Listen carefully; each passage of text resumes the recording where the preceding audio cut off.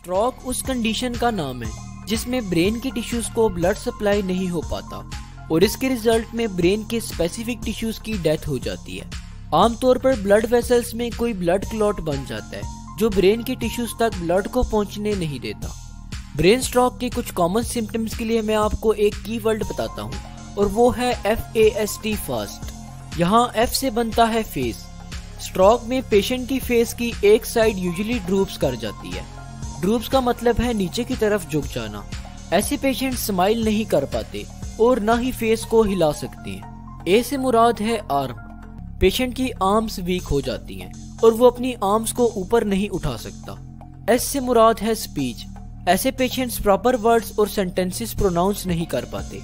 ऐसे पेशेंट्स को बोलने में बहुत प्रॉब्लम होती है। टी से मुराद है टाइम जैसे ही आप किसी ऐसे पेशेंट को देखें तो फ़ौरन इमरजेंसी नंबर डायल करें और एंबुलेंस बुलवाएँ और टाइम बिल्कुल भी जाया ना करें। इन सिम्टम्स के अलावा भी स्ट्रोक के बहुत से सिम्टम्स हैं, जिनमें हेडेक ट्रबल इन वॉकिंग और पैरालिसिस वगैरह शामिल हैं। स्ट्रोक के दो बड़े कॉसेज में ब्लॉक्ड आर्टरी और ब्रेस्टिंग ऑफ़ ब्लड वेसल शामिल है। जब ब्लॉक्ड आर्टरी की वजह से स्ट्रोक होता है तो इस कंडीशन को स्केमिक स्ट्रोक कहते हैं।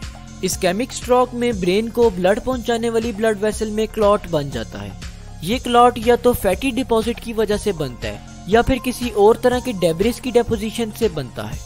इस क्लॉट की वजह से या तो ब्लड वेसल बहुत ज़्यादा नैरो हो जाती है, या बिल्कुल ही ब्लॉक हो जाती है, और ब्रेन के टिश्यूज को ब्लड की सप्लाई बिल्कुल ही रुक जाती है। स्ट्रोक की एक और टाइप ट्रांजिएंट इस्केमिक स्ट्रोक है।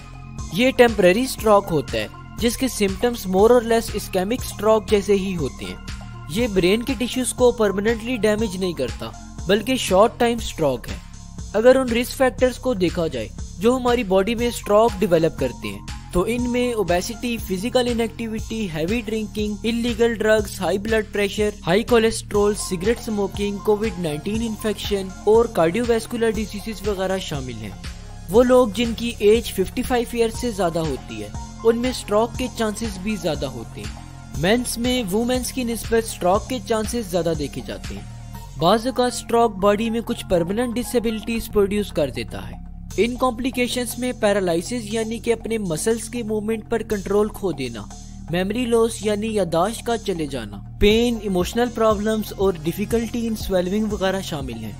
अगर स्ट्रोक की प्रिवेंशन पर बात की जाए तो इनमें ब्लड प्रेशर को कंट्रोल करना, अपनी डाइट में कोलेस्ट्रॉल की अमाउंट को कम करना स्मोकिंग छोड़ना वेट कम करना रेगुलर एक्सरसाइज और इलीगल ड्रग्स को अवॉइड करना वगैरह शामिल है। स्ट्रोक के ट्रीटमेंट में पेशेंट को बहुत सी मेडिसिन दी जाती हैं, जिनमें aspirin antiplatelets anticoagulants blood pressure medicine और स्टेटिन वगैरह शामिल हैं। एस्पिरिन पेन किलर्स हैं, जो बॉडी में पेन रिलीवर्स का रोल प्ले करती हैं। एंटीप्लेटलेट्स और एंटीकोगुलेंट का फ़ंक्शन ब्लड क्लॉट को प्रिवेंट करना है। ब्लड प्रेशर मेडिसिन के दौर पर जो मेडिसिन दी जाती हैं, उनमें अल्फ़ा और beta blockers calcium channel blockers और थायाजाइड डायोरेटिक्स वगैरह शामिल हैं। इन सब मेडिसिन का कॉमन फ़ंक्शन ब्लड प्रेशर को मेंटेन करना है। स्टेटिन मेडिसिन बॉडी में कोलेस्ट्रोल लेवल को रिड्यूस करती है। स्ट्रोक के बहुत सिवियर पेशेंट्स में डॉक्टर सर्जरी परफॉर्म करते हैं। इस सर्जिकल प्रोसेस को कैरेनियोटॉमी कहते हैं।